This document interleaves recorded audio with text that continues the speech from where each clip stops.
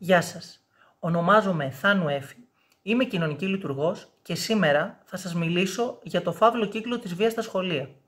Αποτελεί η προστασία του παιδιού ατομική ευθύνη. Στην τρέχουσα συγκυρία και συνθήκη είναι πολύ σημαντικό να μιλήσουμε για τις αιτίες που γεννούν τη βία στα παιδιά και στους εφήβους, καθώς και να απαντήσουμε στο ερώτημα που προκύπτει για το αν τελικά είναι ατομικό το ζήτημα της προστασίας τους.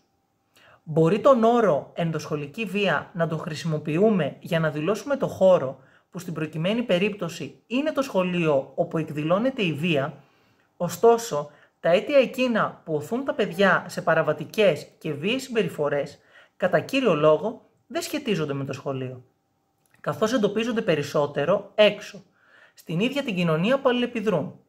Τι σημαίνει όμως αυτό; Ειδικά κατά την περίοδο της πανδημίας, η ψυχική υγεία τόσο των παιδιών όσο και των εφήβων επηρεάστηκε σημαντικά.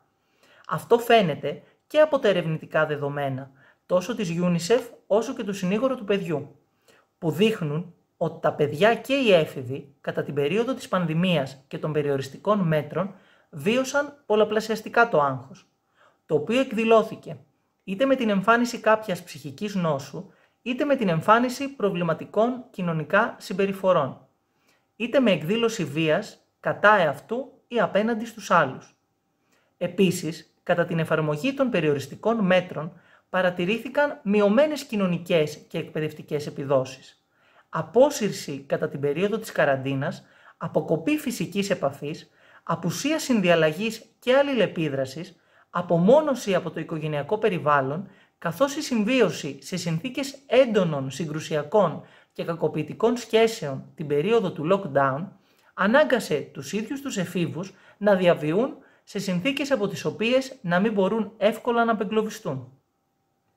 Αν δεχτούμε ότι η πανδημία συνέβαλε σημαντικά στην αύξηση παραβατικών συμπεριφορών και βίας, δεν πρέπει σε καμία περίπτωση να παραβλέψουμε άλλες βαθύτερες αιτίες, οι οποίες προϋπήρχαν όπως τα 10 χρόνια βαθιάς οικονομικής κρίσης και μνημονίων, με ό,τι αυτό συνεπάγεται σε κοινωνικο-οικονομικό επίπεδο, η απουσία ψυχολόγων και κοινωνικών λειτουργών στα σχολεία, η υποστελέχωση δομών πρωτοβάθμιας φροντίδας υγείας, καθώς ενώ συνεχώς καταγράφεται μεγάλη αύξηση ετοιμάτων για παιδοψυχίατρο, σε ολόκληρο το λεκανοπέδιο υπάρχουν μόνο δύο αυτόνομες μονάδες παιδοψυχιατρικής υγιεινής ενώ τα κέντρα ψυχικής υγείας καθώς και τα ψυχιατρικά νοσοκομεία της χώρας αντιμετωπίζουν σοβαρές ελλείψεις, με αποτέλεσμα να παρουσιάζουν σημαντικές δυσκολίες στην ομαλή τους λειτουργία.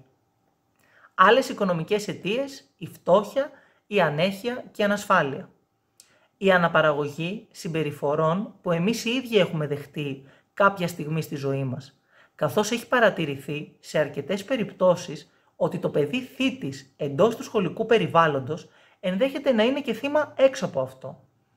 Στο σημείο αυτό αξίζει να σημειωθεί πως είναι κοινώς αποδεκτό το γεγονός ότι μεγάλη μερίδα των μαθητών αναγνωρίζει, κατακτά και μαθαίνει τις βίαιες συμπεριφορές, τόσο από την ίδια την κοινωνία που ζει, όσο και από τους ίδιους τους γονείς. Γι' αυτό λέμε ότι τα παιδιά είναι η αντανάκλαση των γονιών τους. Σημαντικό μερίδιο ευθύνης, ωστόσο, έχει και η προβολή στρεβλών προτύπων, τα οποία προωθούνται από τα μέσα μαζικής ενημέρωσης, αλλά και ένα ολόκληρο στρεβλό αξιακό σύστημα, όπως ο φόβος, η απέχθεια, για κάθε τι ξένο, για κάθε τι διαφορετικό, η καλλιέργεια του ατομισμού ως μοναδικού δρόμου επίλυσης των προβλημάτων που αφορούν στη ζωή, ο αθέμητος ανταγωνισμός, η κυρίαρχη αντίληψη «ο θάνατός σου η ζωή μου», το μήνυμα που περνάει η ίδια κοινωνία «κοίτα τη δουλειά σου και το σπίτι σου, μη μιλάς», νομίζω απαντούν ξεκάθαρα στο ερώτημα για το ποιος έχει την κύρια ευθύνη για το αν ένα παιδί παραβατεί. Δεν θα έπρεπε λοιπόν να κάνεις σε κανέναν εντύπωση όταν η νεολαία γυρνά πίσω τη βία, ξεσπά και αντιδρά. Και πολύ εύκολα στο σημείο αυτό μπορούμε να απαντήσουμε και στο ερώτημα για το αν η προστασία του παιδιού αποτελεί ατομική ευθύνη. Φυσικά και όχι. Η προστασία του παιδιού ενέχει κοινωνική και συλλογική ευθύνη, η οποία θα πρέπει να βρίσκεται κάτω από την ομπρέλα του κρατικού μηχανισμού, ο οποίος θα έχει την πλήρη και αποκλειστική ευθύνη της παιδικής προστασίας με στόχο την ικανοποίηση των σύγχρονων αναγκών όλων των παιδιών, όχι μόνο σε επίπεδο εκπαίδευσης, αλλά και στον τομέα της υγείας, της πρόνοιας, του αθλητισμού και ούτω καθεξής. Μια ευθύνη που θα ξεκινά από την πρόληψη του φαινομένου της βίας, μέχρι και την ουσιαστική στήριξη παιδιών και οικογενειών.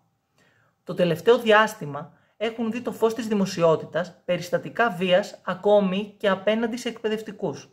Χαρακτηριστικό είναι το παράδειγμα πρόσφατης παρέτησης αναπληρωτή εκπαιδευτικού δευτεροβάθμιας εκπαίδευσης σε επαγγελματικό λύκειο, ο οποίος μέσω επιστολής εξηγούσε αναλυτικά τους λόγους που τον οδήγησαν σε αυτήν.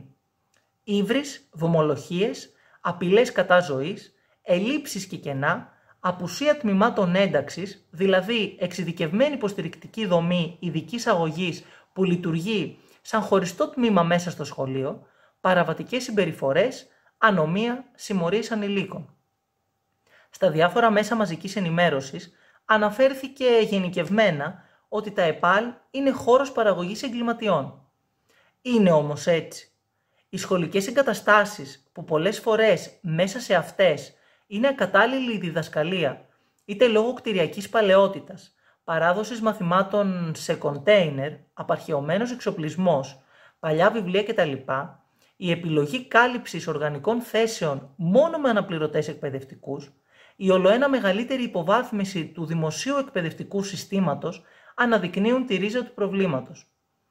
Πώς γίνεται άλλωστε ένας μαθητής, μία μαθήτρια να αναπτύξει σχέση εμπιστοσύνης με τον ή την εκπαιδευτικό από τη στιγμή που το χρονικό διάστημα προσαρμογής συμπίπτει με το χρονικό διάστημα της απόλυσης του εκπαιδευτικού; Πώς γίνεται ο ίδιος εκπαιδευτικός να μπορέσει να παρέμβει ουσιαστικά όταν δεν έχει τα κατάλληλα μέσα; Αντιλαμβάνεται κανείς ότι το σχολείο είναι ένας χώρος αναπαραγωγής ανισοτήτων μέσα στον οποίο ο εκπαιδευτικός καλείται να τις εξαλείψει, να ενισχύσει την προσωπικότητα του μαθητή, τις δεξιότητες και την αυτοεκτίμησή του, καθώς και να τον διαπαιδαγωγήσει με τέτοιο τρόπο ώστε να μπορεί να ζει και να δρά ως ολοκληρωμένη προσωπικότητα μέσα στην κοινωνία.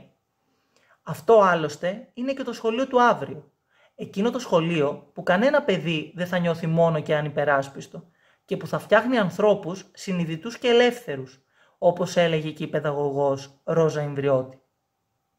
Τι πρέπει να γίνει λοιπόν για την εξάλληψη του φαινομένου; Είναι σαφές ότι για την εξάλληψη του φαινομένου θα πρέπει να γίνουν μαζικές προσλήψεις εκπαιδευτικών, ψυχολόγων, κοινωνικών λειτουργών σε κάθε σχολείο με σταθερές εργασιακές σχέσεις, επαρκή στελέχωση των κατακαιρματισμένων κοινωνικών δομών και υπηρεσιών, παρεμβάσεις στην κοινωνία, δηλαδή εκεί όπου διαμορφώνονται οι αιτίες που οθούν τα παιδιά στη βία, ημερίδες, εκδηλώσεις, επιμορφωτικά σεμινάρια με στόχο την πρόληψη, συνεργασία σχολείου οικογένειας σχετικά με περιστατικά σχολικής βίας και εκφοβισμού, ευαισθητοποίηση και συνεργασία με τους γονείς, προκειμένου να σταματήσει ο κύκλος αναπαραγωγής και ενθάρρυνσης ενδοσχολικής βίας, ενεργή εμπλοκή των συλλόγων γονέων και κηδεμόνων και των εκπαιδευτικών για την εξάλληψη του φαινομένου, ανοιχτή συζήτηση στην τάξη για τον ορισμό και τις μορφές της ενδοσχολικής βίας και του εκφοβισμού, προαγωγή της ομαδικότητας και της συλλογικότητας,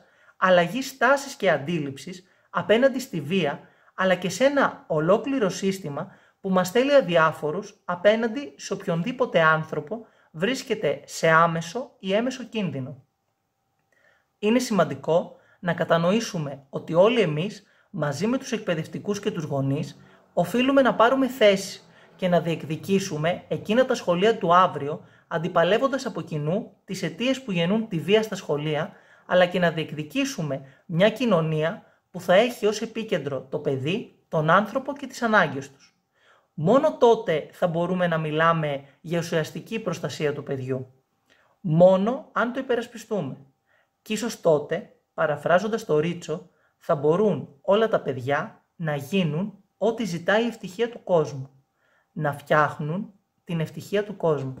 Σας ευχαριστώ.